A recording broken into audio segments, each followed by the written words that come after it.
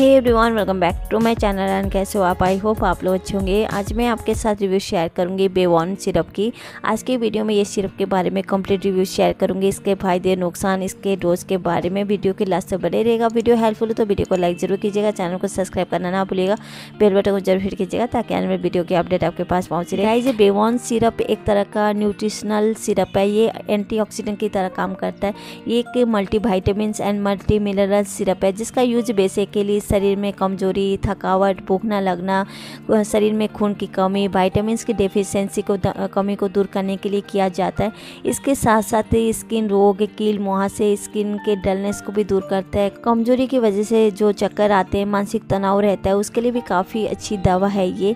इसकी कंपोजिशन की बात करें तो इसमें vitamin A B one B two B three B twelve zinc iodine ऐसे बहुत सारे वाइटामिन एंड मिनरल्स है जो कि ओवरऑल हेल्थ के लिए काफ़ी बेनिफिशियल होता है। वाइटामिन ए शरीर के कोशिकाओं को फ्री रेडिकल्स के हानिकारक के प्रभाव से बचाता है। वाइटामिन बी टू जो है, वो खून की कमी आयरन की कमी को दूर करता है। ये 200 हंड्रेड का पैकेजिंग में आता है और इसका जो प्राइस है one hundred fifty six rupees ये आपको कोई भी मेडिकल स्टोर में ईजिली मिल जाएगा। बात करें इसकी डोज की तो इसका डोज आपको डॉक्टर अच्छे से सजेस्ट कर पाएँगे रिकमेंड कर पाएँगे आपको हेल्थ को देखकर। नॉर्मल डोज की बात करूँ तो जो पाँच से दस साल के जो उम्र के बच्चे होते हैं उनको देना है आधा आधा चम्मच करके दिन में दो बार खा, खाना खाने के आधे घंटे बाद। और जो दस साल के जो ऊपर के लोग हैं, उनको लेना है एक एक चम्मच करके दिन में दो बार खाना खाने के बाद।